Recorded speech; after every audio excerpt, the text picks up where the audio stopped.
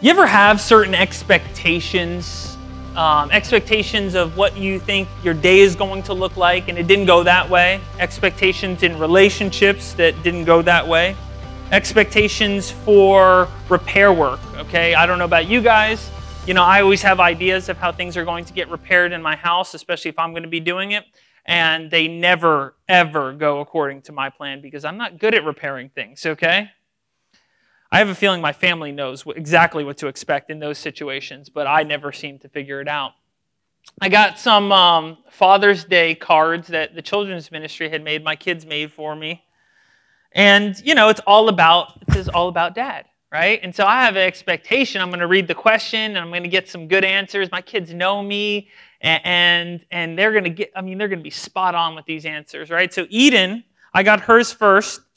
One of the things that struck me about her um, Father's Day card was that it says, My dad is four years old. My dad has green hair. My dad's job is a Barbie player.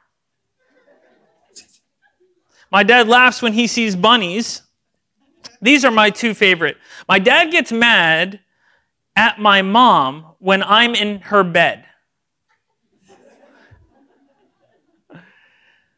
My dad always says, don't ever say bad things. My dad loves me because he loves me. Very insightful. Zion. Zion got the age right. He was a little bit more on point. My hair is blonde for Zion. Uh, my dad calls me whatever he wants. Um, I love my dad because of everything. It's a good one. Judah. My dad always says, suck it up, buttercup.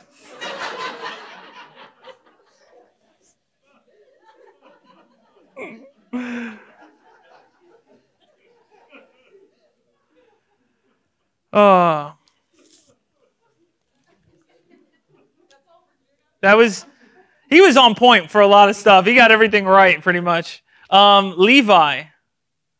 My, uh, my dad likes to wear superhero shirts. My dad laughs when he farts.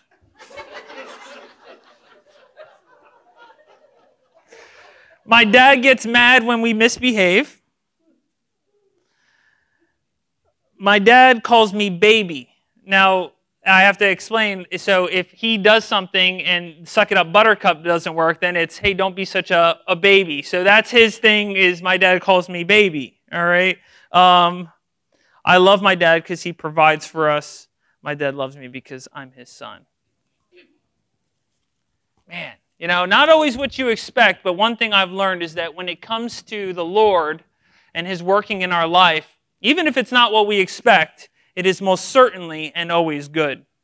God says that his ways are good, that his ways are not like our ways, that he has a plan for our lives and a future for our lives. He, he has hope for us that all things do work together for good to those that love God. Have you ever watched one of those magic shows? You ever remember like when they used to have like the David Copperfield specials and stuff like that? Young people are like, I have no idea who that guy is. It's like what's that other dude that's cre- crazy and creepy? Criss Angel, maybe more like him, but for less weird, you know. Um, I remember all those magic shows. I used to love watching them when I was a kid. And then I think it was in my late teen years they came out with this special called Revealing, you know, the magic tricks. And I remember watching this and I'm thinking like, "Oh man, these are going to be so amazing, so complex, you know, some of these tricks and like some of the tricks where the guys levitate, they're just basically standing up on one foot, you know, and raising up another one. I'm like, that's it. That's I was I was blindsided by that, right? It wasn't what you were expecting. So, too, I remember early on in my Christian faith hearing promises of all the things that God was going to do and all the ways that God was going to work. And, and God was going to provide money, and God was going to provide a family, and God was going to provide everything that I ever wanted, and all the foods that I ever desired, and everything that my flesh desired. I mean, God was like a, a, a, a slot machine that just never, never failed. You know what I mean? You pull the handle, and then God just coughs it out for you, right? So, too, I remember promises of the, the mystical side of, of who God was. You know, a lot of times we look at God and we consider him to be this great mystical being, right? Now, I want to encourage everybody here this morning that I believe that the Christian faith is not mystical. It is spiritual, but it is not mystical. See, because mysticism has in its core, if you will, the idea that it is unknowable except by unknowable ways and means that you have to discover for yourself. In other words, if you want to have a relationship with God, well, you better start figuring it out. You know, burn some incense, maybe light some candles, maybe jump through some spiritual hoops, perform some spiritual deeds. You need rites, you need gurus, you need people that are going to lead you in these ways. That is what mysticism teaches, and that's the exact opposite of what John is writing to us in his epistle, okay? He doesn't want people to sign up, so to speak, for this Christianity with expectations of what it was going to be required of them in order to draw closer to God. He wanted them to understand from the very beginning that God was both very accessible, okay, and also very practical. Okay, there is a supernatural side to who God is, right? The Bible says that the Father, He is a spirit, right? And there is a supernatural side to the way that God works. But it is not such a mystery that we have to, within our flesh, try to figure out how it is we're going to acquire this relationship with the Lord, right? Let me give you an area of scripture to consider. In Colossians 1:26 and 27 it says this, the mystery which has been hidden from the ages and from generations but now has been revealed to his saints to them God willed to make known what are the riches of the glory of this mystery among the Gentiles which is Christ in you the hope of glory. In other words, God is saying, hey, listen, we have lifted off that veil, that mystery of who God is, right? And who God is is found in the person of Christ. And how you draw closer to the Lord is found in the person of Christ. It's not through rites, it's not through rituals, it's not through spiritual acts, okay? It's not through penance, it's not through payment, it's not through any other means other than the person of Jesus Christ. If you want to be a quote unquote spiritual person, then the answer for you is found in the person of Christ, having a relationship with Jesus Christ. Now, I know for some that's like, well, that's Christianity 101. That seems kind of trivial, Pastor Ryan. I, I think we already uh, understood that. The problem is for us, you know what we start off doing? We start off with that idea, right? That all you need is Jesus. And then over time, we begin to adopt the idea that all you need is Jesus plus some other stuff. All I need is Jesus plus some really good books. All I need is Jesus plus a really good pastor. All I need is Jesus and a really good church. All I need is Jesus and some really good, and you go on. I, I need Jesus and to perform some rituals, some deeds, some things that'll make him more happy with me, right? And that's contrary to what God is showing us in his word.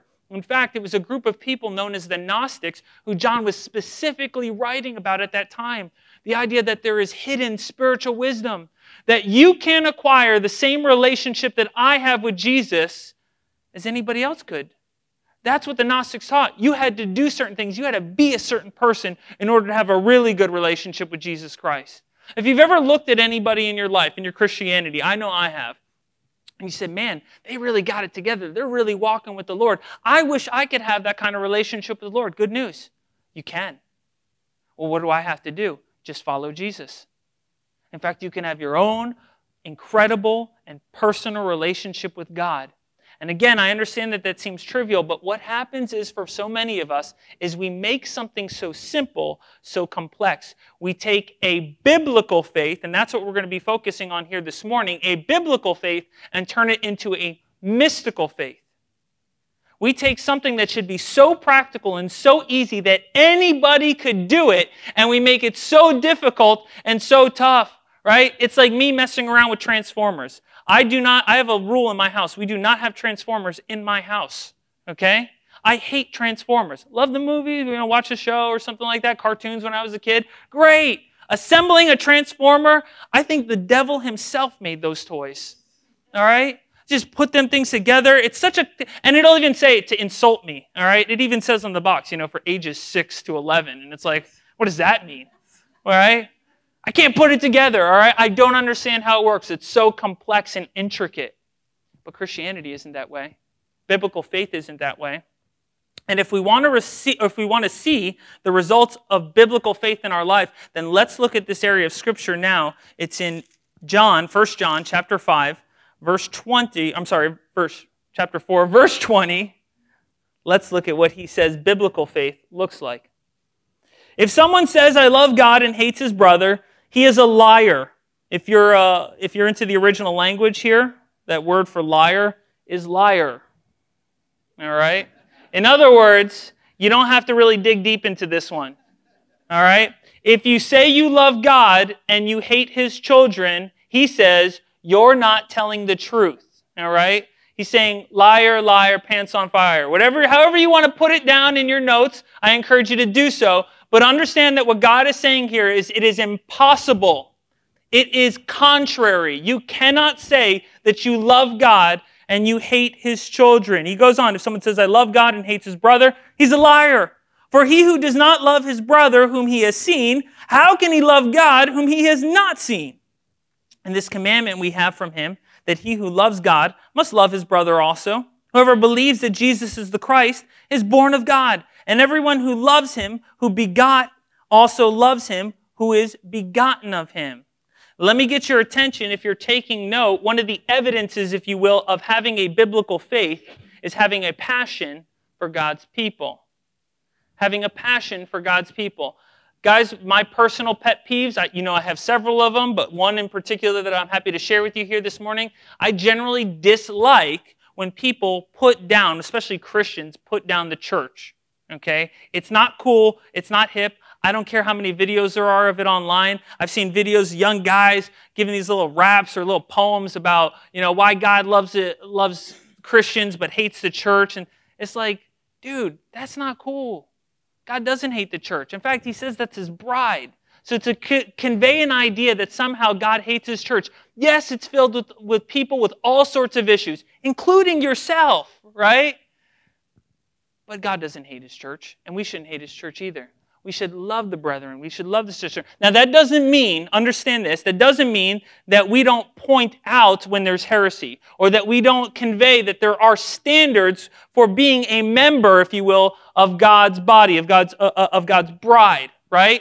God does have standards. God does say that this is what my people will look like. And this is how you can tell a true sheep and a wolf in sheep's clothing. All those things are conveyed. But listen, God does not at any time hate his children or hate his bride, if you will. He does not hate his church. And therefore, if we say at any point, guys, understand this, if we say we love God, but we hate his kids, we're being a liar in that moment. Why? Because understand this. Imagine you come to me, you say, Pastor Ryan, I like you. You're a great guy. You're awesome. We should get together sometime. Yeah, that sounds like a great idea. When do you want to do that? Well, when are you not going to be around your kids?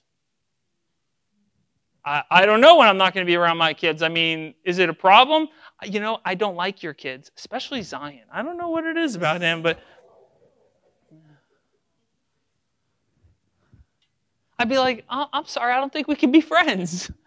I, I don't think it, I don't think we're going to have a good relationship together, right? And so understand what God's saying to us as his children. He says, listen, there's a problem when you say you love me, but you hate them and you act like you hate them and you treat them like you hate them because that's supposed to be your family. It's crazy. It's like we don't understand the concept of eternity, right? It's forever. That means you're going to be around that person that you hate forever, right? Eternity right? You might want to rethink what destination you want to go to if you really don't want to be around those people that much. Like, that's our family. That's who we're going to be with forever. And he goes, and furthermore, he says, How can you hate somebody who is begotten by God just like you were? Just like you were. We forget just how sinful we are, right? Right? We, we think that salvation didn't apply to us like it applied to them right? That somehow they need a lot more of God's grace and a lot more of God's mercy, right? And we just needed a little bit of it, right? We were maybe going to make it to heaven on our own, some way, somehow, right? But God says, no, no, no, listen, they're begotten just like you were begotten. John chapter 13, verse 34 and 35 says this A new commandment I give to you that you love one another as I have loved you, that you also love one another. By this all will know that you're my disciples if you have love for one another. Now, I love this area of scripture because it, it, for me, okay, it lets me know that I can't love people the way I want to love them. Why? Because what does God say? Hey, listen, I want you to love one another the way I loved you. Because if it was up to me, I would love them just in my own way, right? It's like, listen, I'll love them from afar, God. I'll love them without having any interaction with them, God. I'll love them, you know, with a bit of sarcasm mixed in. I'll love them with a bit of angst mixed in. I'll love them, you know, I'll love them, but I won't like them. Have you ever heard a Christian say that before? I'll love them, but I don't have to like them. Really? How does that work? How does that work for you? Right? Go, go tell that to your spouse. Go tell that to your children. Go tell that to your, your parents. I love you, but I don't like you at all. Really? That, I don't think that goes hand in hand right? Or, or better yet, listen, I'll, I'll forgive you, but I'll never forget. Really? How does that work?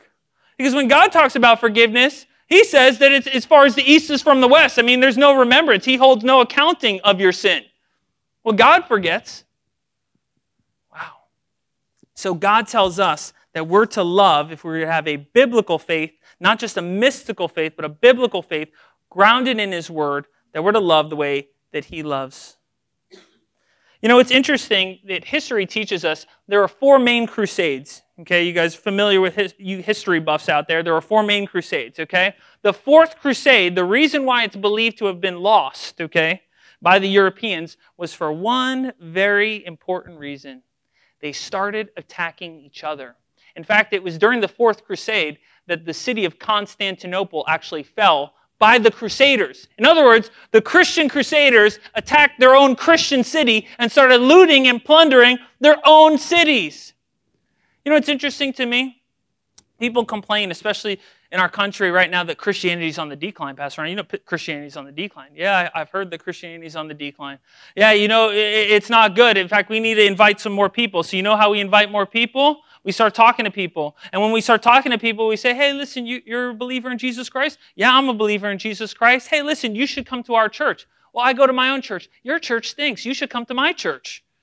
Right? We don't ever do something like that. It's easier to invite Christians who are already going to a church because we don't want to have that awkward conversation with people that don't know Jesus because, well, if we invite people that aren't Christians to church, well, they might feel uncomfortable. Well, yeah, that's kind of the idea right? We're hoping that we invite the unbelievers. Why is it? Let me, eh, you guys who are on social media, isn't it an amazing thing that you're constantly targeted by Christian advertisements for churches? Why do you think they do that? Because they look up your searches and they go, well, we want to invite the people who are interested in these things already, not the people who aren't interested in these things. Well, what's happening is Christianity is declining because we've stopped going out into the world to the people who don't know Jesus Christ. And it's a lot easier to just have conversations with people who are supposedly interested in the Lord or interested in the things of the Lord and inviting them. And we're constantly infighting with one another rather than outreaching to the world. A passion for God's people, a passion for God's children means going out to even the lost of the lost, the most wicked, the ones who are going to curse you and tell you to go away, that they're not interested. You know, it's interesting when I say to my kids when they're fighting with each other, sometimes even from across the house, get along, stop arguing with one another. Right? You guys ever heard that before or said that before? Get along, stop arguing with each other. Their willingness to obey or to disobey that commandment is not a reflection of what they think of each other, but what they think of me. What they think of me.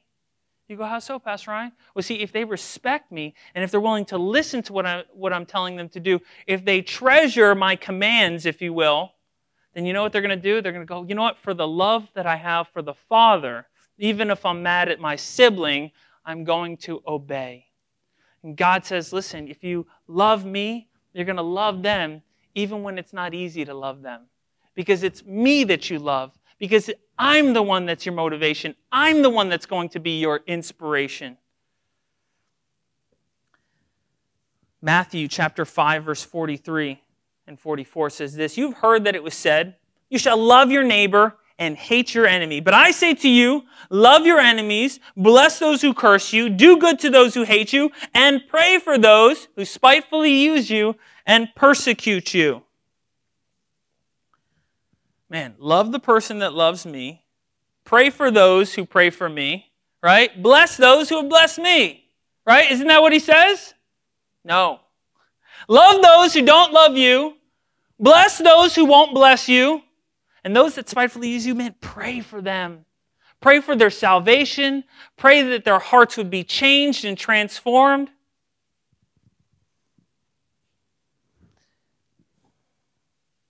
You know, what's interesting. When we, for, when we moved to this building, not, not many years ago, actually, when we moved back to this building, I should say, we uh, had some other tenants that shortly that came after us. Okay, it was another church. All right, you guys, some of you guys were here for this. You remember that? They were upstairs, and we had to have all these meetings. It was our church downstairs, the other church upstairs, and we had to have all these meetings to coincide time so that when we're playing worship, we're not interrupting their service. When they're playing worship, they're not interrupting our service. When we're doing messages, the idea was to keep the noise levels the same, and we had to make sure that certain parts of the building were separated. And what was, what was really interesting to me, I, I, know Andrew was with me for some of these meetings that we had to have where we sat down and went over these details. One of the things that the pastor at the time was a big, big stickler on is he says, listen, he says, I do not want your people, because we had greeters at the time, we still do. I do not want your people to say hello, to greet our people, to invite them to your church. I said, well, I can't promise that they're not going to say hello, but I will promise that if they say they're going to your church, we're not going to sit there and go, hey, no, you should check out our church. Promise, promise to do this, right? So that was the agreement that was made, and that was what we followed through on. It was a couple weeks afterwards, after they had started, that, that they weren't really adhering to the agreements that we had made. But what was very interesting is in one service in particular, my mom came to me.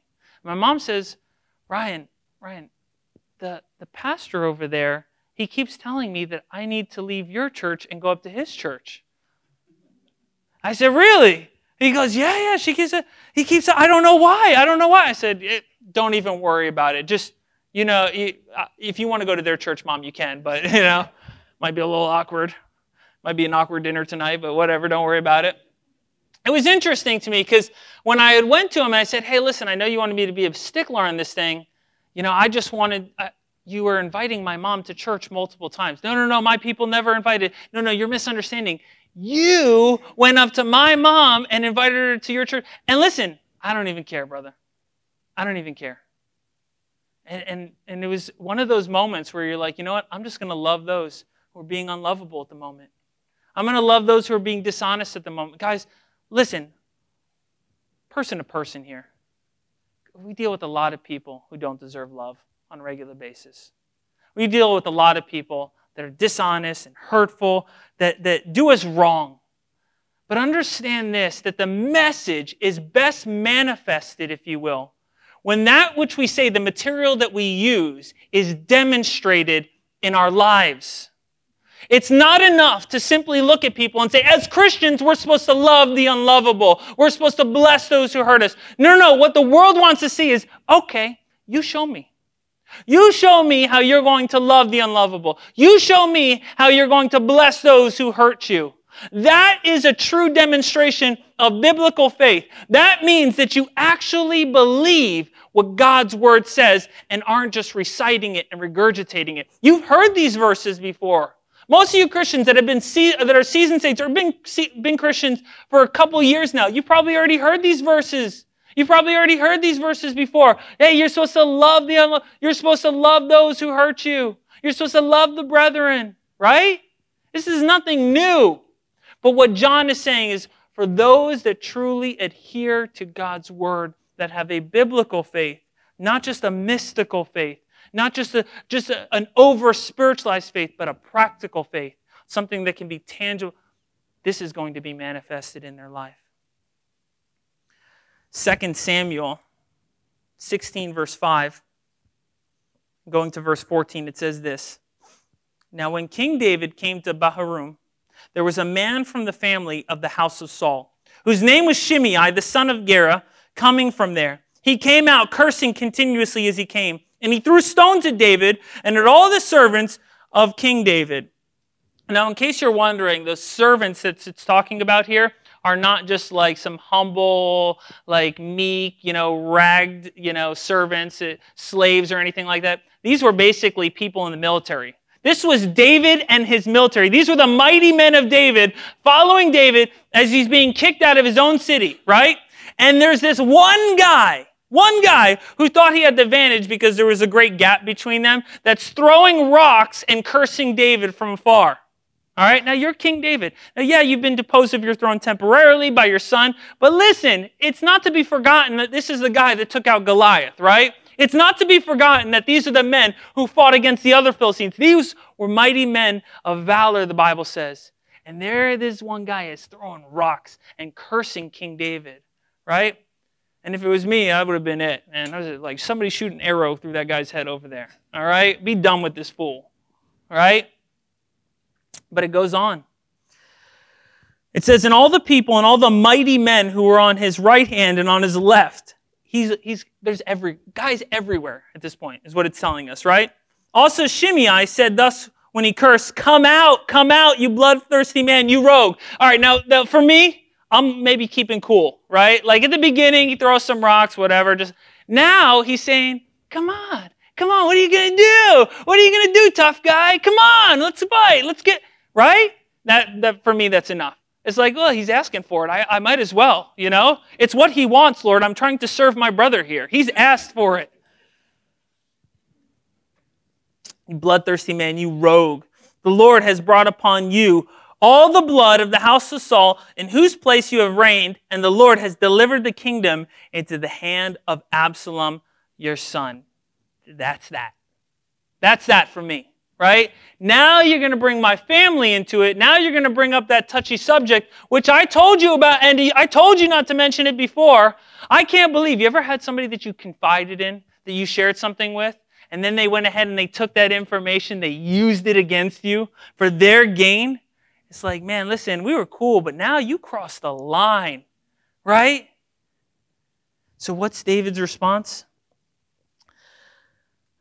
So now we are caught in your own evil because you are a bloodthirsty man. Then Abishai, the son of Zeruiah, said to the king. Now, Abishai, by the way, in case you're wondering, is one of Joab's brothers, okay? This is, this is a mighty, this is a head general, if you will, okay? And Abishai was one of those guys, man, that he, he, he fought hard, okay? He fought hard for his king, all right? He wasn't afraid of anybody. He took out giants himself, it, it records for us in 2 Samuel. He wasn't afraid of nobody, all right?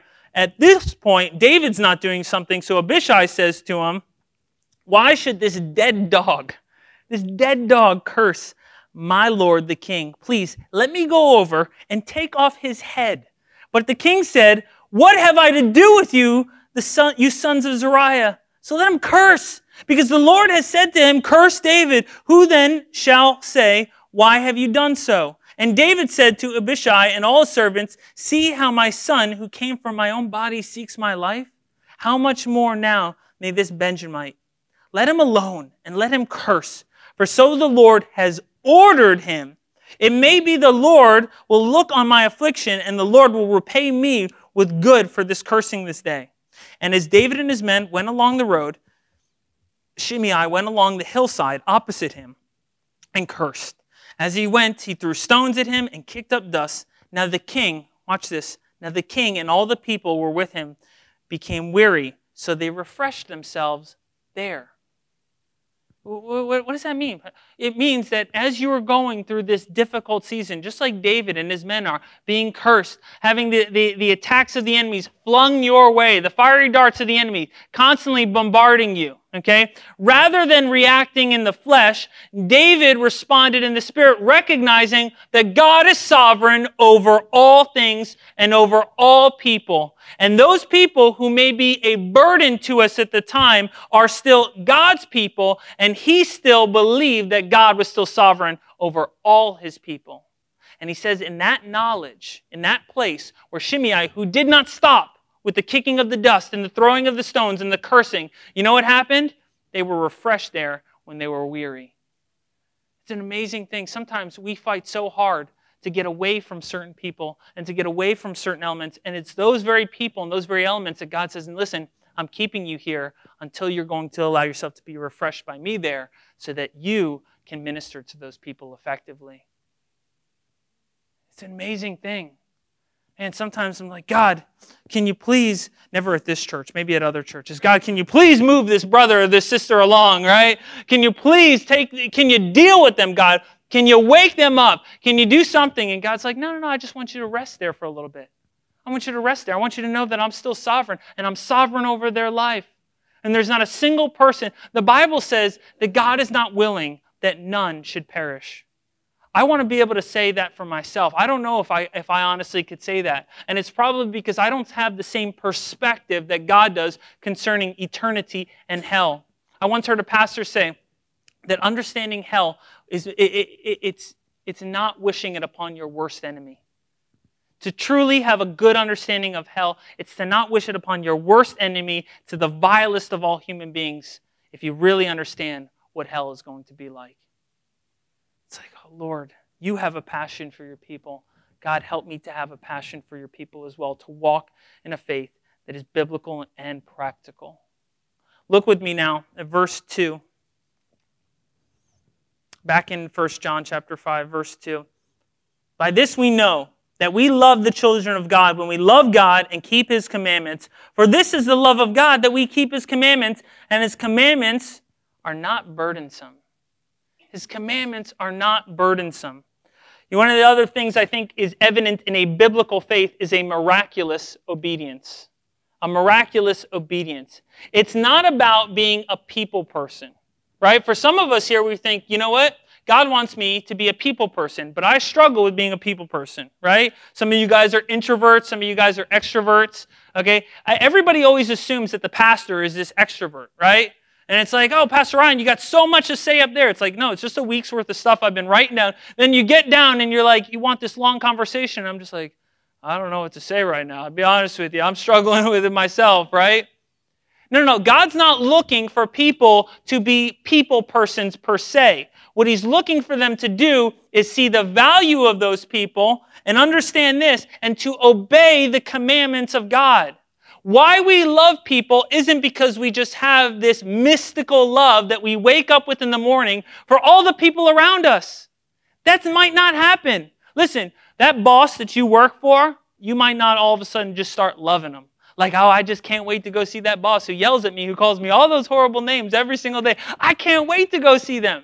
No, no, no. It's not pretend. It's not mystical, right? But what it is, is it's obedience to his word.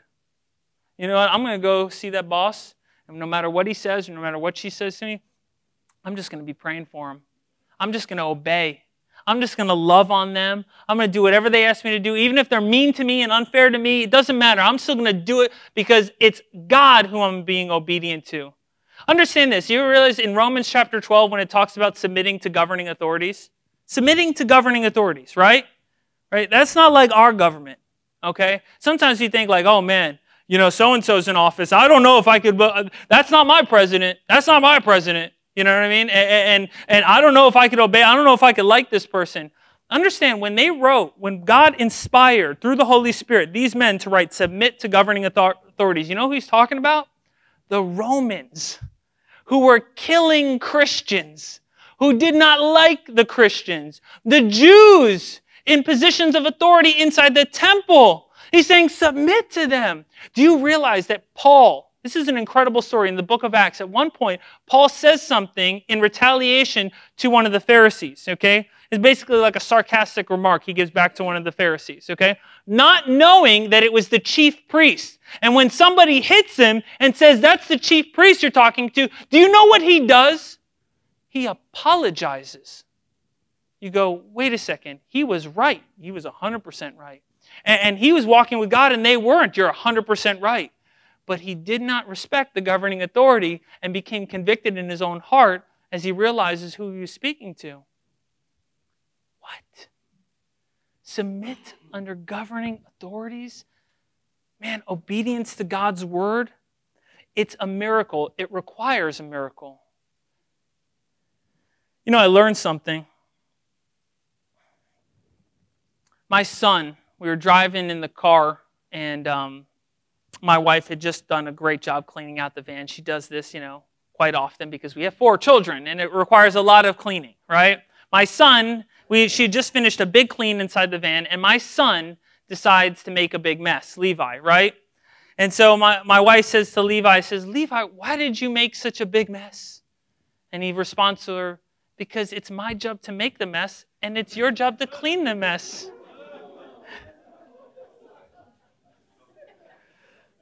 Son, I don't know if I could save you from this. the wrath that you've incurred upon yourself. Sometimes we think like God doesn't care if we go into situations or circumstances like, oh, I made a mess of it, but who cares anyways? You know, the grace of God covers that thing. Yeah, you're right. God's grace most certainly covers a multitude of our sins, but understand this that the grace of God that He gives to us, right? It's not just for the covering of sins, but it's also for the transformation of our hearts. It's for the transformation of our minds. In Romans chapter 12, verse 2, it says, And do not be conformed to this world, but be transformed by the renewing of your mind, that you, Christian, this is for every one of you and me, okay? That you may prove what is the good and acceptable and perfect will of God. In other words, when they're looking on and they go, I don't know if I believe this Christianity. Oh, no? Then allow my life to prove to you the validity of what God is saying. That His Word is powerful and His Word will transform. And that faith that I have is not just mystical, it's tangible. And you want to know how it's tangible? It's tangible because of the life that I live, because I'm obedient to His Word no matter the cost. It solidifies the witness. You know what happens when we refuse obedience to God's Word? or 2 Samuel chapter 12, verse 14, it's a dialogue between King David, right, and Nathan the prophet. And it was right after David had slept with Bathsheba and right after he had killed her husband Uriah to cover up the fact that she was pregnant. Right? And what does David do? What does David do? He, he, he just goes about life as normal. It's like, ah, no big deal. I'm still a servant of God. I'm still a king, you know. Hey, eh, nothing bad has happened, so it must be okay. No big deal. God's grace is there. And yeah, some people, I heard some murmuring in the kingdom. Some people know that I did this, but you know what? What's a big deal, anyways, right? And Nathan the prophet comes, gives him this whole story about what's going, you know, what he had done. And, and sorry, I got distracted for a second. And, and, and gives him this picture of the uh, of, of sheep right? And this person that robs another man of his sheep and kills the sheep. And but there's this one very interesting line. He says, David, when David realizes what he did, he says, You gave the enemies of God an occasion to blaspheme. You gave them a reason to mock God. Man. You ever wonder why Christian scandals make the news? Guys, you ever wonder why Christian scandals make the news? Because they're watching. You don't think that they're watching, but they do. And isn't it an amazing thing that every single time a pastor falls or somebody does something that they're not supposed to do, isn't it an amazing thing that every single time that happens, it makes the news, it's in the newspaper, people are talking about it? Uh, listen, it doesn't matter that I'm not Catholic. Do you know how many Catholic jokes I get on a regular basis about priests doing things that they're not supposed to do? I get guys, I send out Bible verses. You guys get some of them, but I also send them out to unbelievers. And sometimes they respond with the newest scandal or this thing, or that. It's like, man, they give the enemies of God an occasion to blaspheme. Paul writes to the Corinthian church in 1 Corinthians 15 34, he says, Awake to righteousness. I know some of you guys are feeling a little sleepy right now. Let me hear Awake to righteousness. In other words, open up your eyes to the opportunity that God's giving you to be obedient to His word, awake to righteousness, and do not sin, for some do not have the knowledge of God. All right, that makes sense, Pastor Ryan. Uh, some don't know God. And I, and, and I need to awake to this opportunity to, to walk out this faith in a practical way, this biblical faith amongst them, right?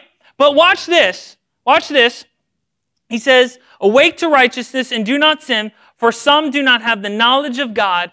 I speak to your shame. I speak to your shame. What does that mean? He says the reason why some people haven't come to know Christ is because the witness that you've presented to them has been unconvincing. You go, oh man, Pastor Ryan, this is not a good Father's Day message. You were supposed to do something light. You know, we might have some, some visitors for the first time. Like, you're supposed to be talking about this kind of stuff this way.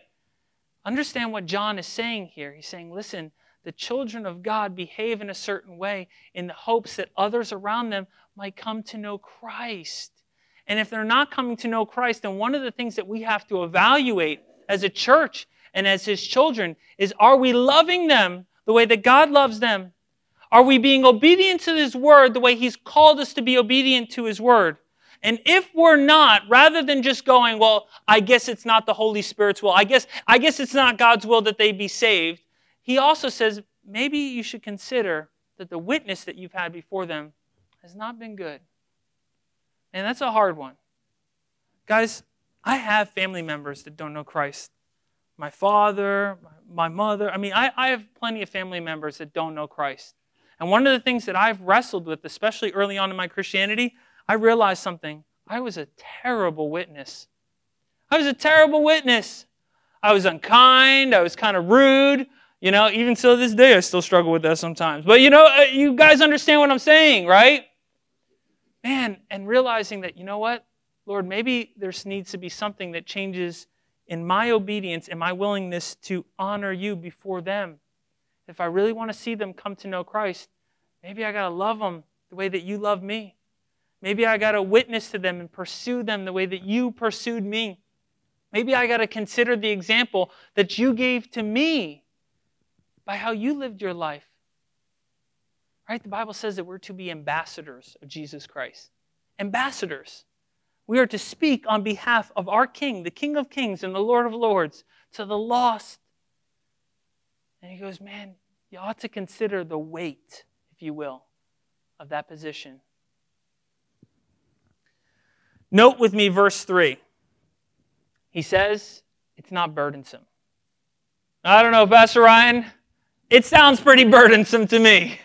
I mean, the what you're what you're asking me to do here, how you're asking me to live, it sounds a little tough. You know what I realized this week? Everybody thought that while my wife and kids were away, that I was just going to be living it up. Like, oh, I got nothing to do. It's simple. It's easy. There's no, no chores to do around the house. You know what I realized? Man, it is hard. Some of y'all came out and helped me. It was so hard, and I appreciate that. All right? I, I got home, I would start my morning off early in the morning. I'm doing the dogs, taking out the dogs, feeding the dogs. All my kids used to do this, right? Uh, I'm cleaning up my, the best of my ability around the house, trying to wash dishes, take out the trash. I mean, I'm going insane. Then I have to go to work. Then I come home from work. Then I got to make a meal. I don't, I haven't done that since college. All right? And then I realized something too, like what I could consume in college, it, I can't consume that stuff anymore. I ate a frozen pizza one night and I thought I was going to die. Like, I was like, like, oh, this is not good for me anymore, right? I like resorted to salad. Yeah, that's just your best bet, all right? It's not as easy as people think it is. And God understands that. What He's called us to do, the, the holiness, the standard of holiness and righteousness He's called us to do, is not easy on our own or in the flesh. But remember, as we even talked about last week, that He has given us help. He's given us His Holy Spirit, He's given us the church, He's given us His Word. That we might be able to follow in this standard, that we might be able to follow Him. Look with me finally at verse 4 and 5. For whatever is born of God overcomes the world, and this is the victory that has overcome the world, our faith. Who is he who overcomes the world? But he who believes that Jesus is the Son of God. If you're taking note, one of the final evidences, if you will, of a biblical faith is an unshakable faith and hope. It was in 2007 that the New York Giants won the Super Bowl. New York Giants won the Super Bowl. They won it other times as well, but this year in particular was quite memorable because they beat the unbeaten at that time New England Patriots, okay? And anytime the Patriots lose, that's a, that's a day of celebration in and of itself. But this was memorable because these guys weren't supposed to lose, right? Up until that point, they were 18 and 0. They hadn't lost a single game, and the Giants had lost plenty of games at that point, right? And it was amazing things that this team was unscathed. They were, un, they were unhindered by the, the record, if you will, of this unbeaten team. It didn't faze them.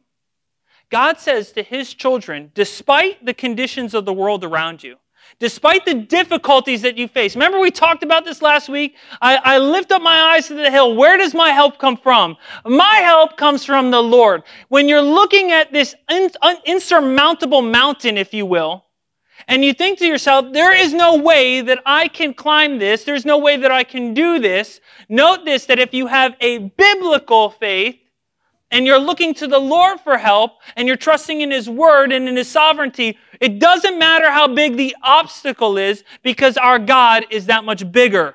The Bible says that those, those who are in Christ Jesus have overcome the world. In fact, in John 16, 33, he says, These things I have spoken to you, that in me you may have peace. In the world you will have tribulation, but be of good cheer. I have overcome the world right? He doesn't say, don't worry. He doesn't say, relax. What is Jesus' instruction here in the midst of great difficulty? Be of good cheer. Laugh about it. Smile. Think to yourself, as we talked about even at the beginning of the service here today, guys, this is the day that the Lord has made. I'm going to be glad and rejoice in it. What's there to worry about? What's there to freak out about? Did God get off the throne? Did somebody depose God of his, of his authority? Did somebody beat God that we don't know about? When the Bible references the Lord in heaven, it references him in two ways standing or seating, never pacing back and forth, never worried about what was going on around the world. We should be the same. In fact, in the book of Revelation, chapter 12, verse 11, it tells us that the, the believers have overcome all things by the blood of the Lamb and the word of his testimony. And in Revelations 3.21, it says that the overcomers, the same people we're reading about here in 1 John, are seated with the Father. You're going to be sitting down you should be sitting down. You should be relaxed. Pastor Ryan, you have no idea of the circumstances that I'm facing. You have no idea of the sin and the bondage that I'm facing. It's interesting to note that term, be of good cheer, that we just read about, it occurs also in Matthew chapter 9, verse 2. It's when Jesus heals the paralytic and he says, be of good cheer. In Matthew chapter 9, verse 22, he uses the term again when he's healing the woman of the issue of blood. In Matthew chapter 14, verses 27, he uses the phrase again when he's walking on the water in the midst of the storm and the disciples are freaking out. He says, Be of good cheer. And finally, in Mark chapter 10, verse 19, when he heals the blind man, be of good cheer. Biblical faith is not a mystery. It's something that every single one of us could possess if we possess a relationship with Jesus Christ an unshakable faith. Man, you really want to win the lost? Show them that you're unshakable. Not because of your own strength, because of the foundation in which you have built upon. The reason why our faith is to be unshakable is because our foundation is in the person of Jesus Christ and it's in His Word. Even when the world changes around us and our circumstances change around us, God, the Bible says, changes not. He doesn't change. He doesn't freak out all of a sudden. And you know what's amazing in all of this is we talked about this biblical faith, guys, the power that it possesses. You see, sometimes it, if I'm be honest with you, one of my biggest struggles is you ever come across an area of scripture? You ever come, a, you ever got a rhema word? You know, like the Lord speaking right to you, and you're like, "All right, Lord, I'm ready to apply that to my life. That is good, sound counsel, right? I'm going to apply that principle to my life right now, and I'm going to trust God that you're going to show up in an amazing way because you do, and your word promises that you will. So I'm going to start doing it." Right? I'm not going to walk in fear anymore, at least for a solid week. And we start doing it, and then the circumstances of life cause us to forget about the promise that we made, the commitment that we made to the Lord, and we're right back into that situation again. Oftentimes, the principles and the blessings of walking in those principles will not manifest themselves for some time to come, and often, as we talked about at the beginning of the message here, they don't manifest themselves in the way that we expected them to. I was talking to you guys last week about a missionary, and I was talking to this missionary. His name's Paul Kelly. He's in, in Kenya. I was commending him for his great faith. I mean, I'm like, dude, you you're a tough dude. You're out in Kenya, in the slums of Kenya. You're ministering to people, raising up pastors and ministers. And he says to me, Oh, no, man. He says, No, no, no. It's the missionaries in the Muslim countries. Those guys, their faith is incredible. I said, What do you mean? He says, I have a friend of mine who was in Chad for 12 years. The country of Chad is a Muslim country. He's there for 12 years he does not see one person in his 12 year missions, missions time come to know Christ. Not one single person gives their, their life to Christ. And he's in this village. And while he's in this village, his son, his most precious son, okay, he's not like he has favorites, but he's like, man, this one this is my firstborn. It's my, my, my boy. His son contracts malaria and dies. 12 years, not a single convert. His son contracts malaria and dies in Chad and they're holding a funeral. They're holding a funeral in this, in this small village for his son, and it is at that funeral that the chief of that village asks Christ into his life, and the entire village gets saved. 12 years. For some of us to go, I've given it two weeks walking through this, and it's tough, Pastor Ryan. It might take a little bit longer. It might. Joseph, 30 something years. David, approximately 30 years. Right? The disciple, I mean, guys, three years walking with Christ. You know, we expect that God's going to show up how we want Him to show up at the very moment we ask Him to show up. And that's what faith is all about. That's not. Faith is walking with God even when it's most difficult to. It's trusting in the Lord's sovereignty. It's not a mystical thing, it's a practical thing and a real thing. And if we want to see our loved ones and we want to see our community transformed by the power of the Holy Spirit, by the blood of Jesus Christ, by the testimony of His word in our lives, it might take some time, right? That's why Paul says it's what? It's a marathon, it's a race, right? It ain't a sprint. You ain't going to get there by next week. But here's the beautiful thing about walking with the Lord it says that He is the author and the finisher of our faith, that he who begun a good work in us will be faithful to complete it. Just wait on it. Just continue to wait. Trust the Lord that he is